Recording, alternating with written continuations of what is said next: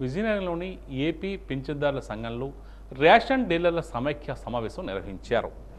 ఈ సమావేశంలో నూతన కార్యవర్గాన్ని ఎంపిక చేసుకున్నారు. జిల్లా రేషన్ డీలర్ల సమైక్య అధ్యక్షుడిగా చొక్కాపు రామారావు ఎన్నికయ్యారు. ఈ సమావేశానికి రాష్ట్ర అధ్యక్షుడు లీలా మాధవరావు ముఖ్య అతిథిగా హాజరయ్యారు. సమావేశ వివరాలను ప్రధాన కార్యదర్శి ఉమాశంకరరావు వెల్లడించారు.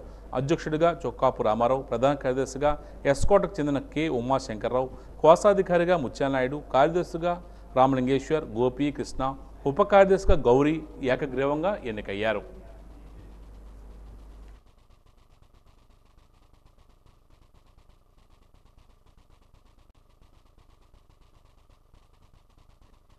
అది దివిలేల మాధవరావు అధ్యక్షతన ఈరోజు సర్వసభ్య సమావేశం జరిగింది. జిల్లా మొత్తం సుమారు మూడు వందల యాభై మంది అటెండ్ అయ్యారు. అందరూ కూడా ఏకతాటిపై నన్ను ఎన్నుకోవడం జరిగింది. జిల్లా అధ్యక్షుడిగా ఇక నుంచి ఏ సమస్య వచ్చినా నేను ముందుంటానని వాళ్ళకి భరోసా ఇవ్వడం జరిగింది. దేనికైనా ముందు పరిష్కారం చేసే దిశగా ముందుకెళ్ళాలని మేము కోరుకుంటున్నాం. అదే విషయంగా ఎండిఓ వ్యవస్థ వల్ల మేము ఇబ్బందులు పడ్డాం. అదే ఐసిడిఎస్ ఎండిఎం బిల్లులో పెండింగ్ ఉన్నాయి. దాని గురించి కూడా చర్చించాం. అది కూడా విజయవంతంగా సాధిస్తామని మా సమీక్ష ద్వారా నేను మీకు విన్నవిస్తున్నాను.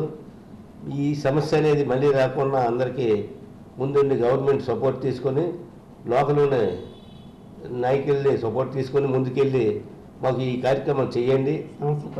సమస్య పరిష్కారం చేస్తారని మేము స్థానిక ఎమ్మెల్యేలని మినిస్టర్ గారిని అందరినీ కలవడం జరుగుతుంది.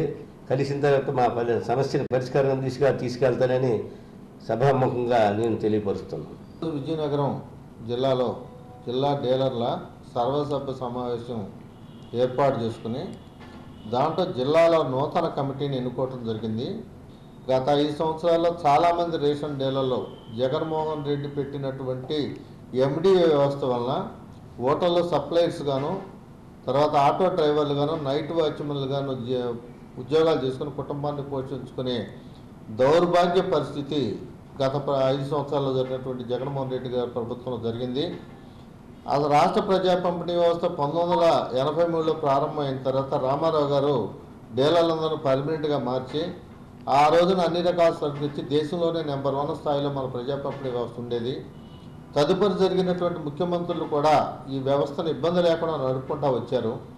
త్వరలో మా డీలర్లందరికీ కూడా దసరా కానుకగా రేషన్ పంపిణీ అనేది రేషన్ షాపుల ద్వారా దొరుకుతుందని చెప్పి మేము కోరుకుంటున్నాం. అదేవిధంగా ఈ యొక్క జిల్లాలో ఈ రోజున ఎన్నిక పెట్టి ఉత్తరాంధ్ర మొత్తం కూడా మా రాష్ట్ర సమాఖ్యకి అనుబంధంగా ఇవాళ మేము చేసుకోగలిగాం. అంతకుముందు సంఘాల నుంచి వాళ్ళంతా దూరం మా వైపుకి వచ్చారు.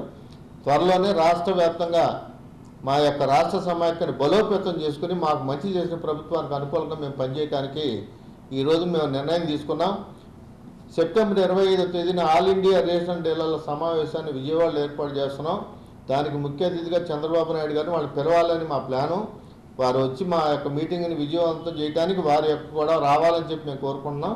దానికి డీలర్లు అందరూ కూడా తరలి రావాలని చెప్పి ఈ సందర్భంగా నేను ఈరోజు డేలాలకి వినయం